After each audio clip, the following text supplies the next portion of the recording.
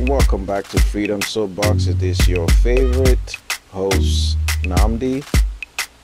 And Ashley. I hope that you guys have one, had a wonderful day. Your week has been going so great.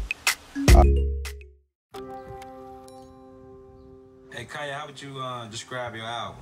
Man, I feel like it's a Genius. What's your take so far on jeen-yuhs? It was a so far it's a interesting documentary, inspirational and Southtown made it down here, boy. I knew he was destined for I mean I know you're obsessed with it, so why don't you tell everyone? Because I think that's where you want to go with this.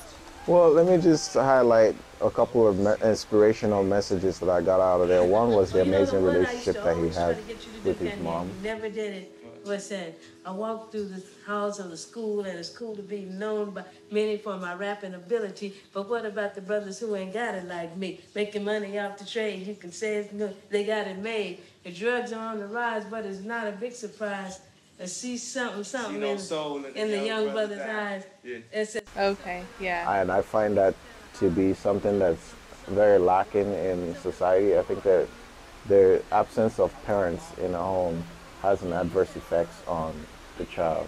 And we're, we're, we're seeing a lot of people who are raised with trauma, uh, going through some level of mental illness, and a lot of that. It's not that parents are gone all the time. It's not just that, but a lot of time, many times people just don't have, or they think that they don't have the best relationship with their parents. But Why do you say that? I mean, a lot of people have their parents with them growing up.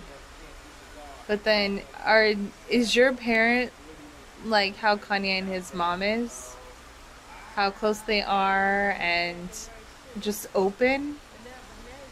And she seems to just like she's not. I mean, she doesn't judge too intensely and she's helpful and very encouraging.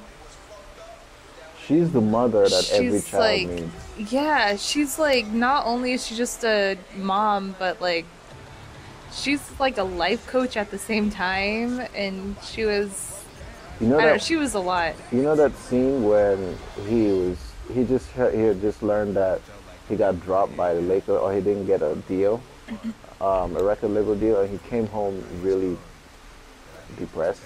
He, he came to visit his mother, and he was really down and out, and how she was was able to bring him back up and pep talk him, and they even Yeah. rapped together. Yeah, I've never. It, my mom was not even that much of a cheerleader for me. Mm-hmm. And not to take anything away from her love for me, she did anything. She would do anything for us. Mm-hmm. But that um, verbal support is missing.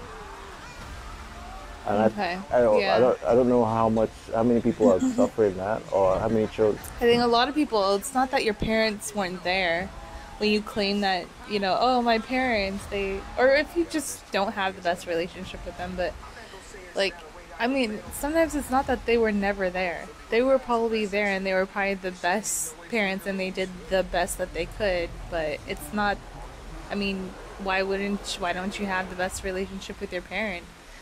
Like, it, even though your parents did their job, everything that they were supposed to do as good parents. And it's like the missing by Kanye West, a series based on his life, rap career on Netflix. The first episode has already aired.